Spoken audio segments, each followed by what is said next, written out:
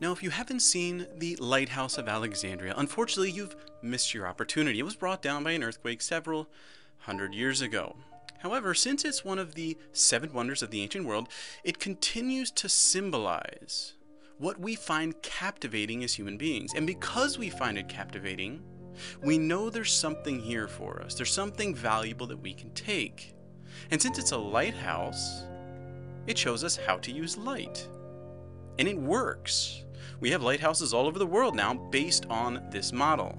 So when we study the Lighthouse of Alexandria, we're going to look at how to use light. Particularly as a ruler, the will utilizes the mind, and the mind crafts images out of light. The mind isn't light, it makes pictures of light against a dark backdrop.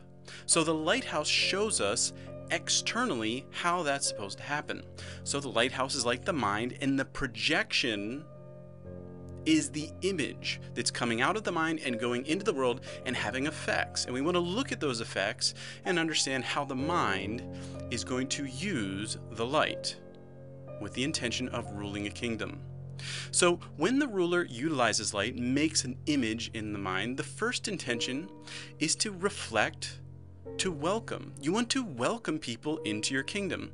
And even the idea of welcome has a sunniness to it, a boisterous, a radiance. You want to envelop everyone into your kingdom that you desire. And the light, the images that you make in your mind and bring out into the world, displays that welcome. The lighthouse of Alexandria Hill was known to be seen from 35 miles away, and that was a very welcomed sight to seafaring travelers who can see that and see home or see their destination. It's very welcoming to have that kind of image in the distance moving you towards your destination. So, using the light as a ruler, the first job is to reflect the light you have inside of you, bring it out through the mirror of your mind to welcome people. Then there's a need to warn. From time to time, life has its storms, and the mind is closest to the spiritual realm. So it can endure the storms better. It's not as concerned what's happening externally as much as the body or the heart. So the mind can be this bastion that shows and helps people see what's happening in the storm, giving clarity, giving vision, giving insight into the tumultuous times that bother us as human beings. You say, well, I can see a lighthouse doing that, but what about a person? Well, we have a fun little graphic for that. Here we have a feminine will standing on a lighthouse surrounded by the storms, and she's displaying her image, welcoming and warning those who come near. This is how she is choosing to do that, and it is a graphic display of how the will projects that image amidst the turmoil of life. So, as you welcome and you warn to give safe passage to those who you want into your kingdom, there does need to be a wording. You must cast light to welcome and to push away those that you don't desire. Now, there's an ancient story about the lighthouse of Alexandria that the brass mirror up top could reflect the sunlight so intently it could light the sails of ships on fire. Now, that's probably just a story told down through the ages, but it's a vivid example of what light can also do and what, as a ruler, light must be used for.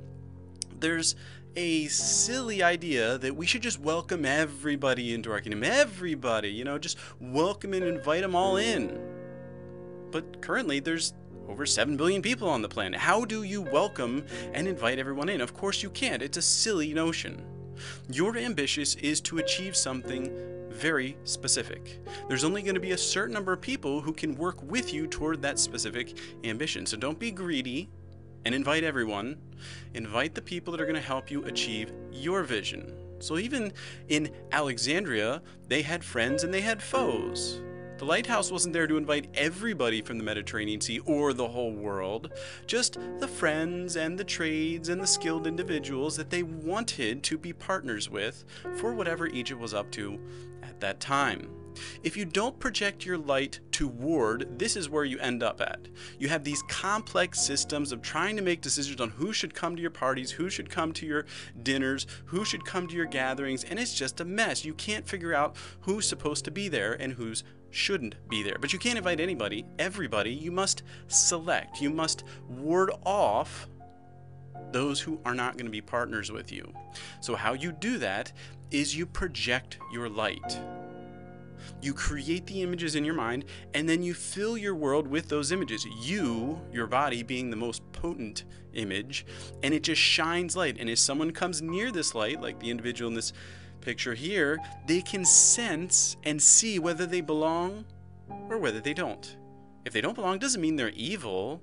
They just don't belong with you. You're trying to accomplish something specific and if they can't help you towards that specific outcome, then they can go somewhere else and find their place there.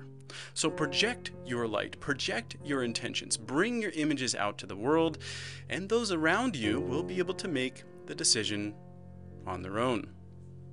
So as you welcome, as you warn and give safe passage, and as you ward off those who are not going to be most effective in your kingdom, you can see how to use light to build a kingdom. Because as a will, your images of light simultaneously envelop and exclude.